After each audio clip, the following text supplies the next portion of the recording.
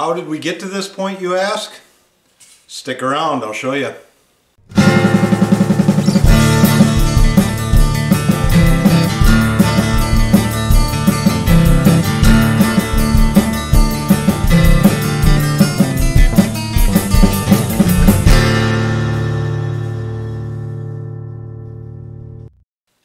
Well, we've done a few things in your absence. First of all, I got my uh, tuners in. I'm kind of partial, kind of partial to these guys. No affiliation, no sponsorship, none of that, obviously. Um, they just kind of seem to hit the sweet spot for me, price-wise and performance-wise. I like the 18 to ones. Um, these actually are locking.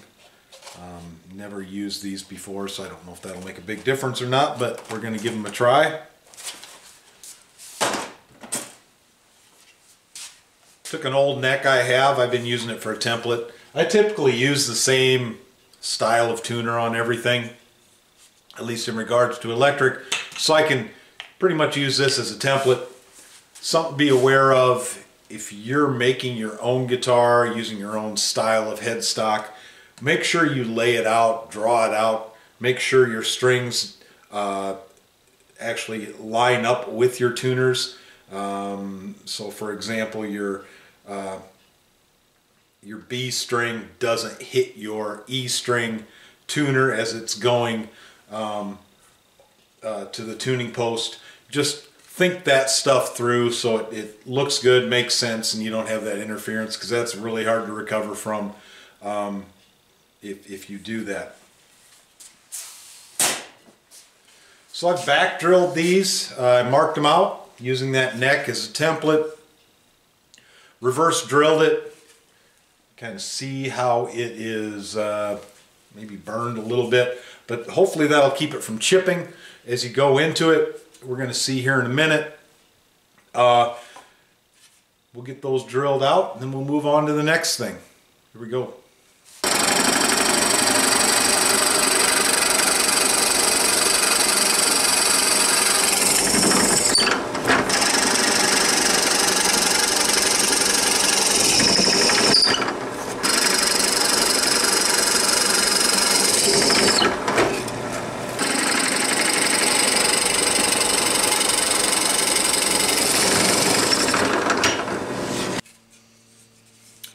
There we go. No blowout in the back, didn't tear it up. Didn't chip it out on the top, so that's good. If you do happen to chip it out a little bit, uh, remember there's washers typically around your tuners that'll hold some of that or hide some of that. Rather, uh, there's ways to fix that if you can, you know, glue a piece of uh, a sliver of wood in there if you had to, but uh, best option is not to uh, do it in the first place. So next we're going to talk about my inlay. I do it a little bit non-traditionally. Some of you may have noticed that this is lasered out. I have a guy do a whole bunch of headstock overlays for me at one time, different species of woods, and he, he lasers them out like that with my logo. Rather than inlaying like mother of pearl or anything like that, I uh, I mix up epoxy, and in this case we're going to use epoxy and aluminum. It gives you kind of a silver finish, and I'll show you how we're going to do that right now.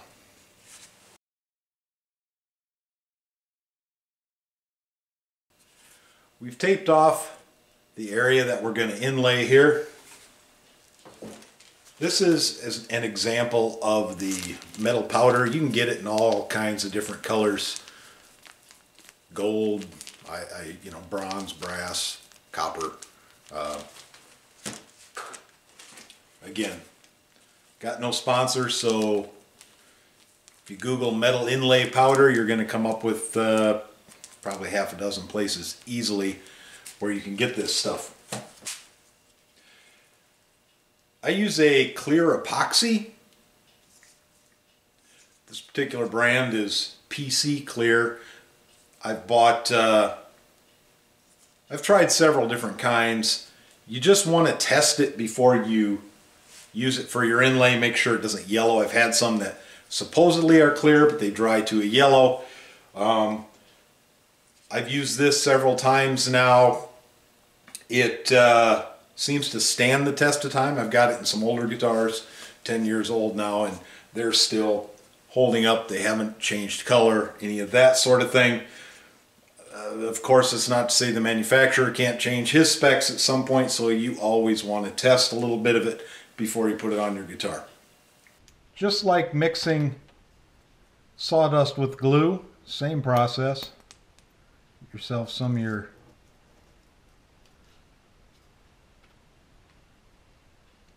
some of your epoxy out there. This is actually some pretty quick setting stuff. Some powder in it. Well, obviously this isn't structural, so there is no rhyme or reason to the mixture. Just saturate it. You're going to sand it down. Anyway, so it'll be nice and smooth and glossy. So start uh, start putting her in there. I don't remember if I mentioned it, but I've got the tape on here just to kind of control my mess. Stuff is uh, definitely more difficult to clean up. It's, it's going to be more more difficult to sand than the wood itself.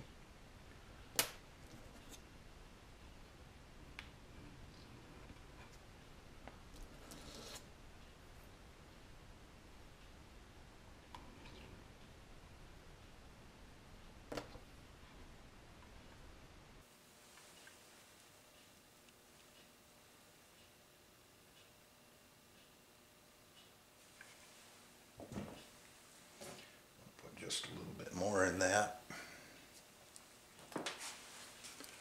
Here's where we're at right now, and it, it does typically shrink just a little bit as it dries, but you're also going to sand the you're also going to sand the face of your um, headstock here, so uh, it all seems to work out, but I want to just make sure I have enough in there.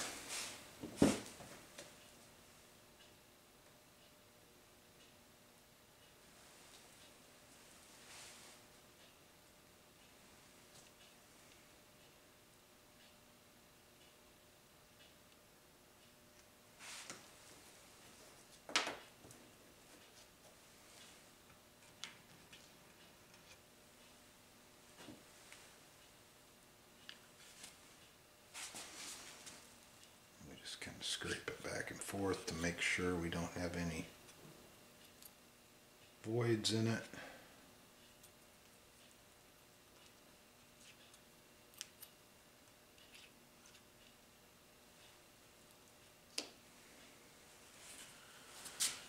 Okay, and there we go. Okay, you see that? Once that's dried, we're going to come back and we'll sand it flat now put a gloss into it, blend it into your the face of your headstock. Look pretty nice. Well, it's a little bit later. This is drying. It's uh, pretty solid. I'm not quite uh, comfortable sanding it yet. I'll probably wait till tomorrow for that, but um, it's hard enough that we can do some other things here. I think the next thing we're going to do is we're just going to do a quick quick fret level. We're not going to dress and we're not going to crown them yet. A lot of that will come. We're going to spray this whole neck, fretboard and all. Um, when we go to clear it, we'll stain it, we'll shoot clear on it, and then we'll come back and we'll actually crown and uh, dress the frets, and that'll get any of the clear coat off the frets too at the same time. So uh, we'll do that all at once. So for the moment, if you're doing this, you want to make sure your, your fretboard's flat, at least the way I do it.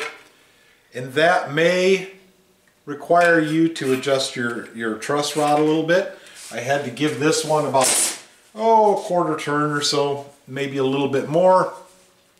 It had kind of got a bow in it. I don't know if that was me hammering the frets in or just the shape of it or whatnot. But you want it you want it nice and flat when you're starting to do any fret work like this. So I have this aluminum bar. Nothing special about it other than uh, it's very flat. Checked it with a bunch of different rulers, straight edges. All comes up the same. The interesting thing is this side is very flat. This side has a little bit of a, a hump to it, so I've kind of actually labeled it. It's uh, getting wore off at this point. But So if you're going to do something like that and you find yourself a nice flat bar and you think you're going to use it again, make sure you label the side that's good for you.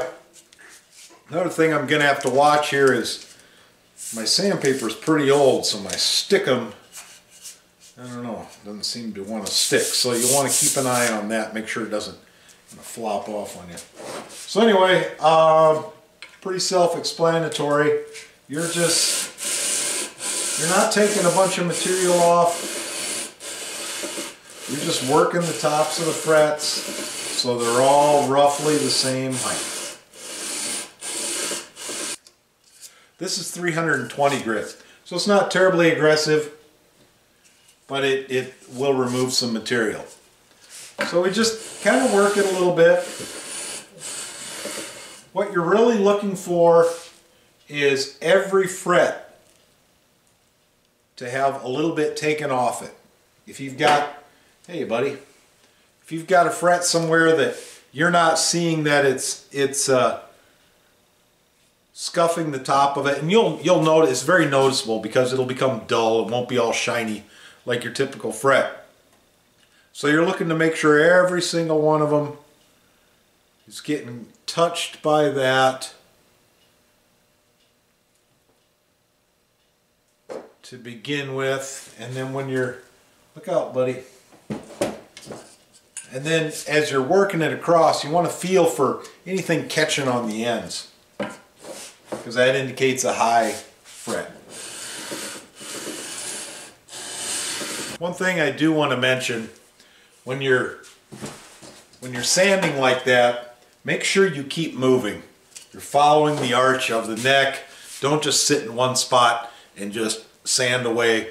Then if you do that, you're going to lose your radius. You'll you'll have a flat spot in your in your fret. Make sure you're working it across the neck, side to side, just so it all kind of blends together. That's what you're looking for.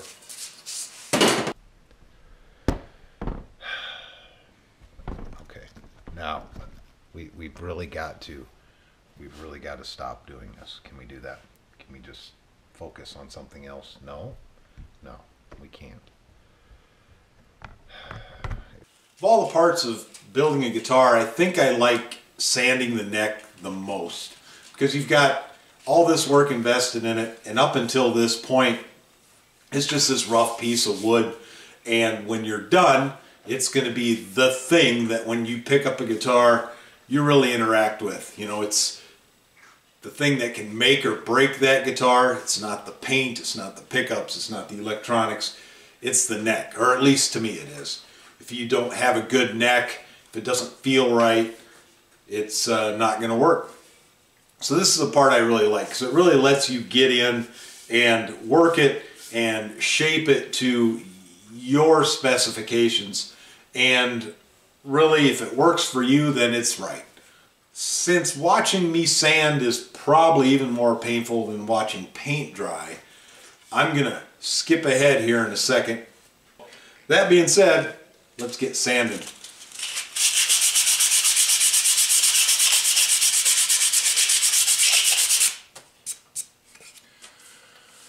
Well, there we go. We've taken it to 100 grit. You can see how our logo is kind of dull. That'll really pop once we shoot the clear on it. Look nice and silver. I'm very happy with the neck. It's very comfortable. A little bit chunky, not too fat. Hopefully you enjoyed today's video. I think next time we're to work on getting the body, working on marrying that to the neck. I know I've got to do a little relieving here in the back of the neck to get that to fit. and we've got to do some sanding on the body. In case you haven't figured out, building a guitar is a lot of sanding. So anyway, hopefully you enjoyed it. If it inspired you to build your own or you have any comments, feel free to throw them down below. I always like to hear those. Till next time, we'll catch you later.